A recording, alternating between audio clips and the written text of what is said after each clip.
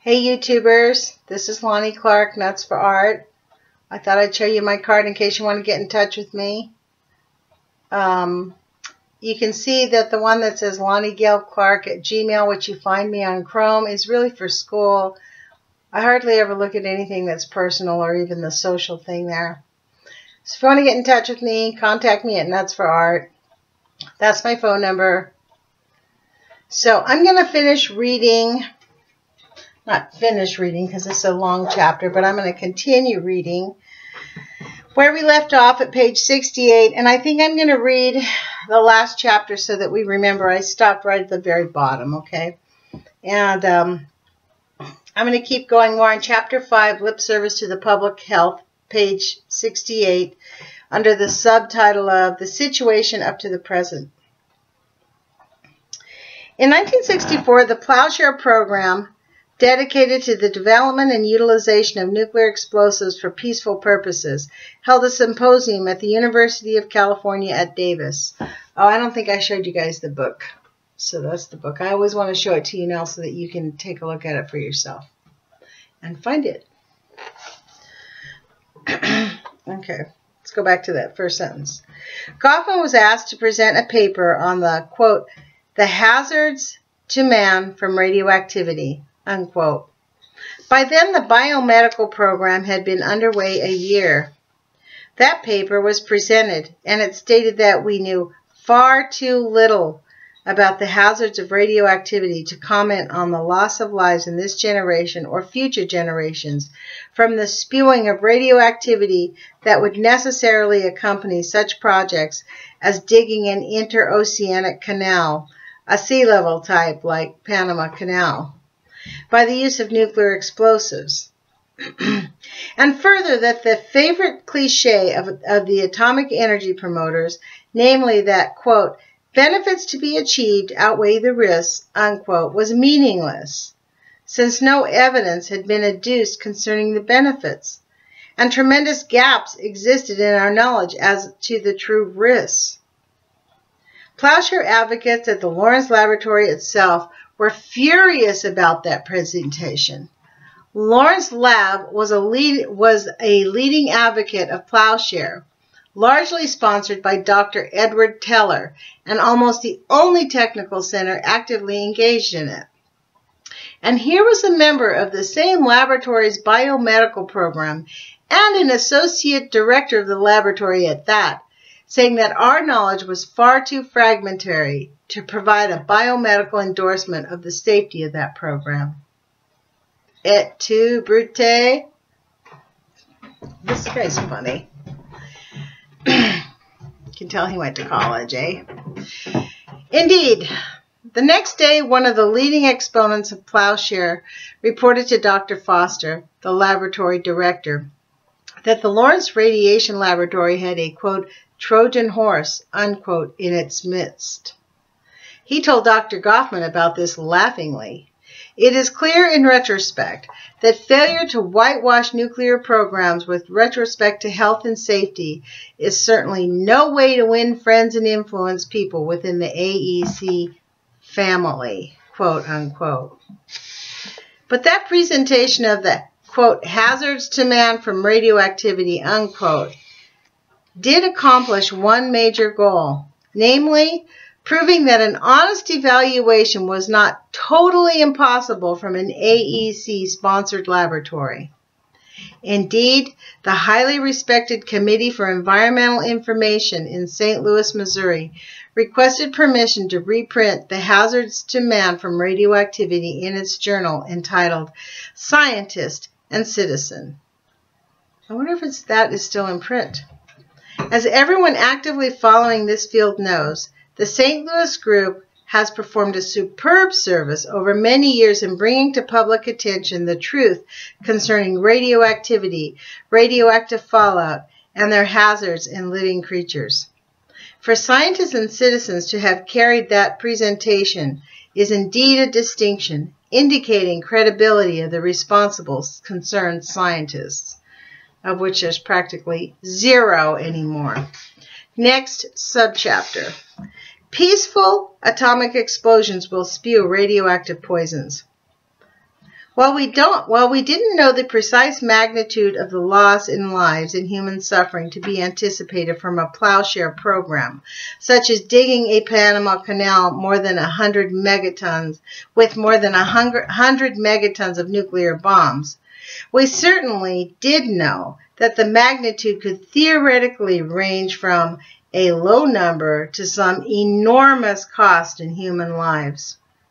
Such nuclear explosions for peaceful purposes represent uncontrolled spewing and dissemination of a variety of radioactive poisons in great quantities over lands and waters, there to be accumulated by plants, animals, and man.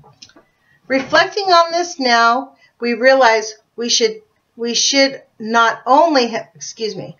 Reflecting upon this now, we realize we should not only have said that the hazards are unknown, but we also should have said that it represents utter folly to consider such projects precisely because the hazard to life could potentially be extremely large. In fact, Duane Sewell, an associate director at Lawrence, at Lawrence Lab, asked Gofman at one of the directors' meetings what he thought by, about what he thought biologically about constructing a new Panama Canal by nuclear explosives by the year 1975. The reply was biological insanity. That's more true now than ever. And that's what we've got, biological insanity. We should we should get a bumper sticker made up that says nuclear equal sign biological insanity. That's a good idea.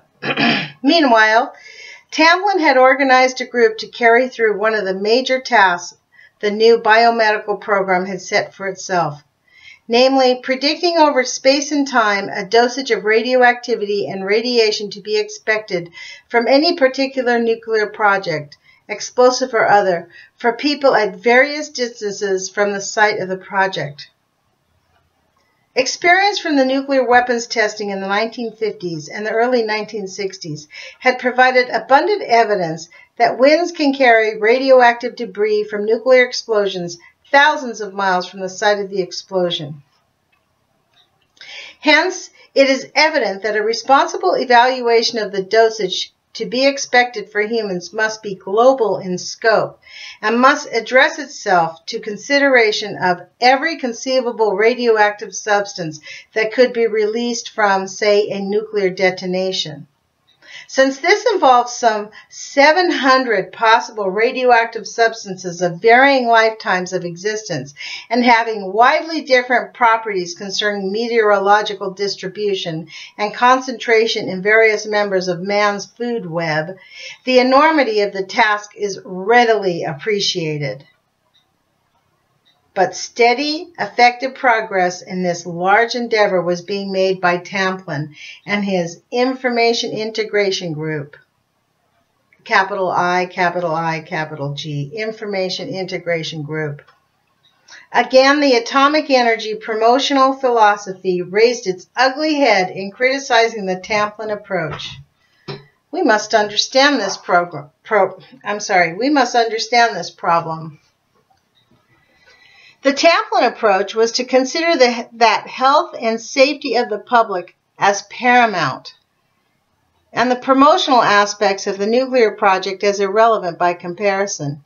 After all, there is never a dearth of hoopla and promotional ballyhoo emanating endlessly from technological promoters, such as the U.S. Atomic Energy Commission and to consider the health and safety of the public as the prime obligation, it is essential to be conservative in estimates of what might happen in the project. For what might happen under adverse meteorologic conditions, such as rainstorm intersecting a radioactive cloud, could lead to massively higher doses of radiation and radioactivity accumulation by people than the promoters' estimates assuming everything would go off perfectly with their in accord with their hopes. I want to read that again so that we really get that because that is a really interesting statement. for what might, and might is in italics, happen under adverse meteorologic conditions, such as, a, such as a rainstorm intersecting a radioactive cloud, could lead to massively higher doses of radiation and radioactivity accumulation by people, by people than the promoters' estimates, assuming every who assume everything could go off perfectly in accord with their hopes. The Information Integration Group expressed its philosophy well in the preface to the many scientific reports on this subject in the following. I'm on page 71, and I'm going to stop there because I'm at 10 minutes, and I kind of think that's long. Um, because there, this goes on for a little while, and it goes on to here. And so I'll be reading for two or three minutes. I think I'll stop. Uh, I'll pick this up on page 71, and we'll pick it up at the bottom uh, the Information Integration Group expressed its philosophy well in the preface to the many scientific reports on this subject in the following. I'll pick that up tomorrow night. So, um, I appreciate all of you guys uh, reading this information with me. And I really appreciate your support and encouragement. It's really nice of you and very kind of you. I can't really be objective. I have no idea what it sounds like, but um, I'm actually dumbfounded that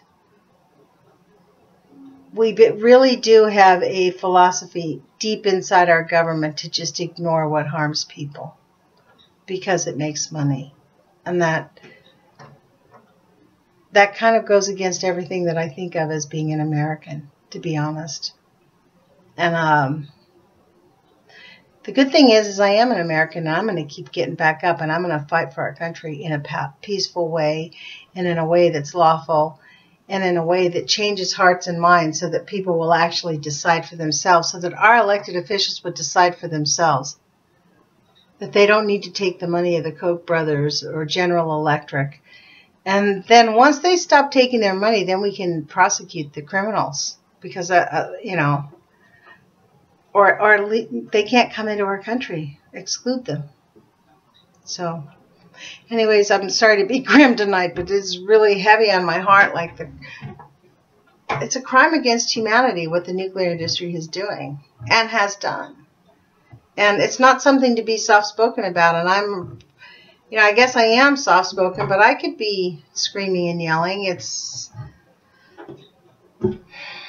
I mean, I guess we all feel this way. There's really not much any of us can do about it. But that's not true. Every drop counts. That's why I'm here reading this book every night. That's why I'm going to keep speaking out. And I'm actually going to be. I, I think I need to do another protest. I think I need to find some place to just stand out and make people uncomfortable for their complicity, their silent complicity. So. Ciao, you guys. I'll Talk to you tomorrow night. I'll read a few more pages tomorrow. Bye.